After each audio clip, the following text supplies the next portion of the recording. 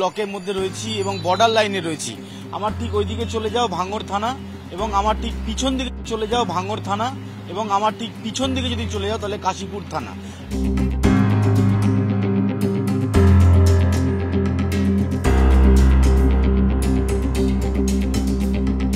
এখানকার যারা সাধারণ মানুষ তারা আমাদেরকে গতকাল এই ঘটনা ঘটার পর থেকেই আমরা বিভিন্ন রাজনৈতিক মহলে প্রতিক্রিয়া পেয়েছি।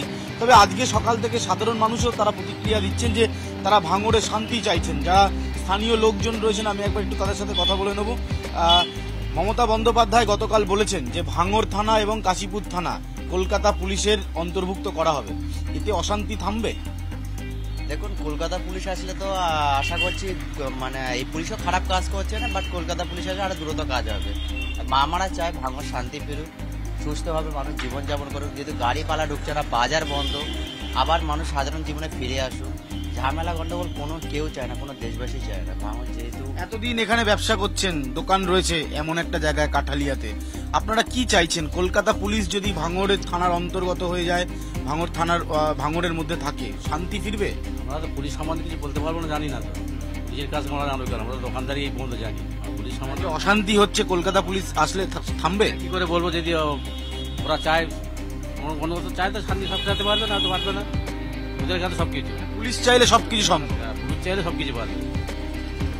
মানুষ রয়েছেন আমি সরাসরি তাদের সাথে কথা বলব। এত বছর এই অঞ্চলে রয়েছেন কি মনে হচ্ছে এবার কলকাতা পুলিশ ভাঙড় থানা এবং কাশীপুর থানাকে নিতে চাইছে চলেছে?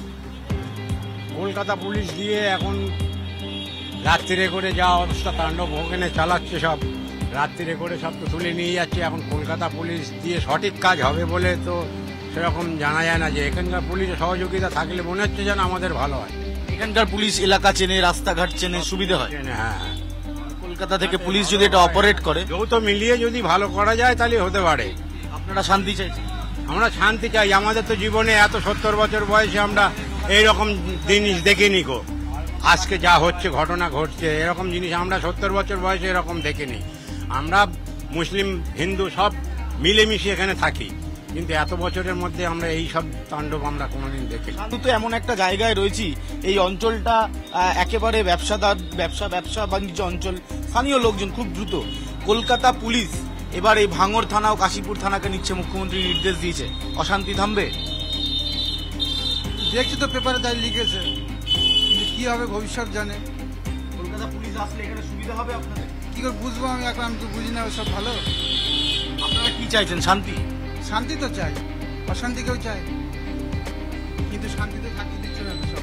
ভাঙরবাসী শান্তি চাইছে। আরও আরও আরও স্থানীয় লোকজন রয়েছে। আমি তোমাকে দেখাচ্ছি যে এই যে রাস্তাটা তুমি দেখছ এটা সরাসরি চলে যাচ্ছে ভাঙর থানার দিকে এবং আমার ঠিক পিছনে যে অংশটা রয়েছে সেটা চলে যাচ্ছে কাশীপুর থানার দিকে। আরও বেশ কয়েকজন রয়েছেন।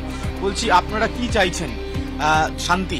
শান্তি চাইছেন এখানে কলকাতা পুলিশ আসলে এটা ভাঙর থানা, কাশীপুর থানাকে কলকাতা পুলিশের আন্ডারে নিয়ে নিলে শান- অশান্তি থামবে? অশান্তি থামবে। কলকাতার আন্ডারে থাকলে অশান্তি থামবে।